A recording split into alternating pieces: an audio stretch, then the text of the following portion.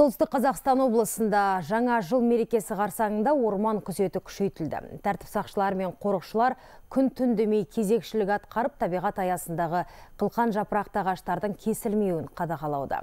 Қазір сауда орындарында тек Ресей елінен әкелінген шыршалар саудаланып жатыр.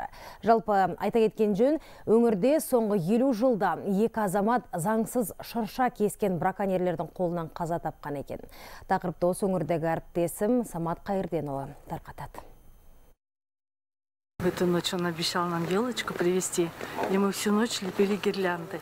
Тогда же были бумажные А тогда же гирлянды. бумажные мы красили, лепили, а потом утром нам сообщили, что папы уже нет. 1969 жыл ол кезде 12-14 жастағы сәуле мен роза жаңа жыл мерекесіне дайындалып жатқан еді бірақ ертесіне үйге суыт хабар жеткен орман қорықшысы болып қызмет еткен әкесі есмахан махметов браконьердің қолынан қаза табады Я училась в седьмом классе, и тогда я уже точно решила, что я пойду в лесное хозяйство. И вот с 78 года я работаю в этой системе. кейін отбасындағы балалардың барлығы әке жолын қуады қазір қолдары қалт етіп босаған жағдайда апалы сіңлілер орманға шығып табиғат аясында серуендеуге тырысады осылайша әкеге деген сағыныштарын басады У нас работал старший брат. үлкен ағамыз спортта жүріп орман шаруашылығына ауысты. Ініміз осы жолды таңдады жолдасым да осы салада егер барлығымыздың еңбек өтілімізді қоссақ жүз жылдан асады екен. Қазір енді бұрынғыдай шырша ағаштары заңсыз кесіле бермейді. Оған тосқауыл қою үшін заң да қатайды. Мамандарға да бар жағдай жасалып жатыр.